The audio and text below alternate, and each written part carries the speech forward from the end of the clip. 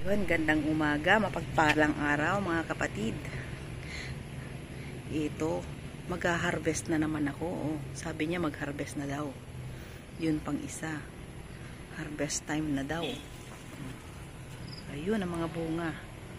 Mag-harvest na ako. At bukod dyan, sa makukuha kong apat ngayon sa isang puno yan, meron na naman ako mga panibago. Ito. May mga panibago na naman ako na bunga niya na lalabas. Ayan. Ang sipag niya pong magbunga. Ayun, dalawa. Ayan. Hindi ko mahanap yung iba.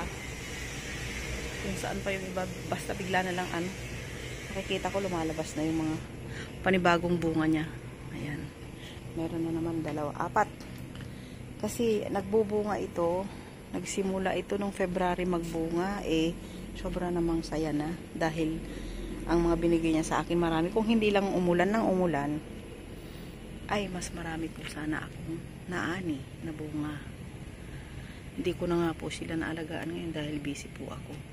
Ayan, pagkalalaki pa naman ng mga bunga ko. Yun, yun ang nga nilalagay ko po. Nakikita nyo? Ayun. Lagi ko po yan sasabihin sa mga gustong mag-alaga ng dragon fruit para mahaba ang bigayan ng bunga sa inyo. Lagaan nyo mabuti. Ito naman ay stock ko. Um, ano po to? Tawag dito. Saging na nababad. Pinagkainan ng saging na nababad. Tapos yan po ang dinidilig ko dyan. Ayun na nga. At tayo ay mamitas na. Pipitasin ko na siya. Magbilang kayo. Oh. Aha. Aha. Ang sarap mamitas. Ayan. Nakaisa ako. 'Di ba? Nakaisa ako.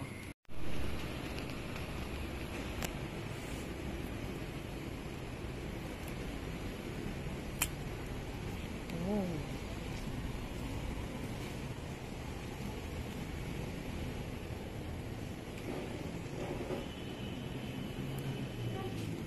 Uy!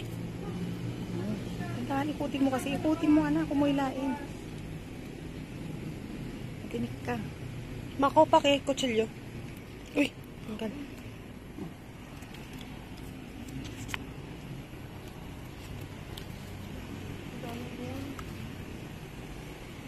Ay po.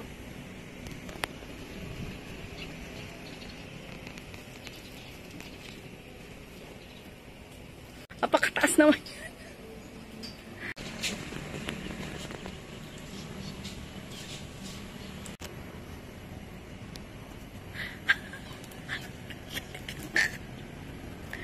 Ay, ang sarap. Thank you. Thank you. O, diba? Makarami kami. Ayan. Makarami kami ng kuha. Ayan, salamat. Sa aking magandang anak na mitas.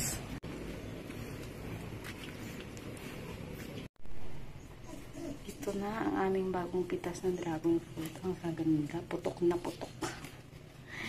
Sarap talaga pag may tanim. Morning.